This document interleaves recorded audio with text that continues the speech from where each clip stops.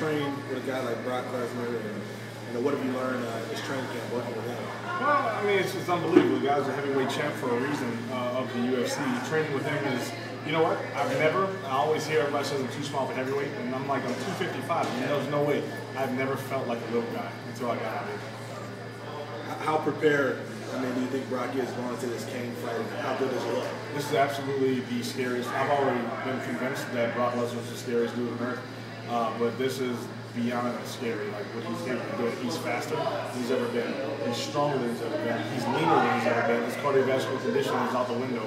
Like he's all around. His, his striking game is, is, is improved tremendously.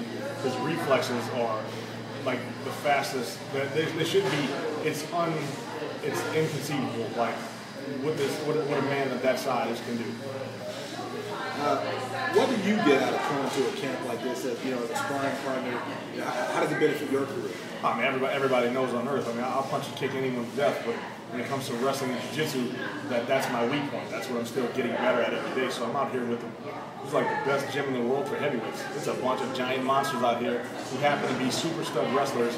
There's a seven-time world champion jiu-jitsu coach out here uh, Caprito, um, like this is this is everything that I need in order for myself to get better, just to be out here with them. What do you think if you uh, now that you've trained with Brock, if you end up having to fight him since you're in the same division, what what are his weaknesses you might be able to take advantage of? Unless, yeah, I think I can run faster than he can. with Brock, and just you know, what's the whole experience been like for you in this training camp? Uh, it's, it's been great. You know, I've been here for about a year.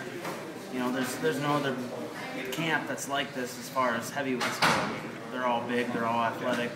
You know, you get a lot of pressure, and you'll never feel that anywhere else in the other gym. So it gives me supreme confidence going into a fight after training with these guys, and, and just knowing that I, I felt the most pressure that I'm going to feel, and the fight's going to be easy.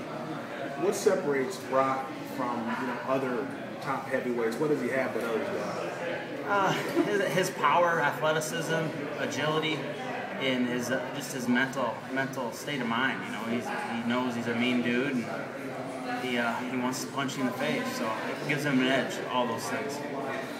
What do you think? I mean, a lot of people talk about Cain and his, his hands and his stamina. What does Cain have to worry about when facing a guy like Brock? Cain's got to worry about Brock even touching him in the face. I mean, Brock even just reaches out and touches him once, it's going to rock him or knock him out. So he's got to stay on his toes and moving and and we'll see if he's in as good a shape as I said.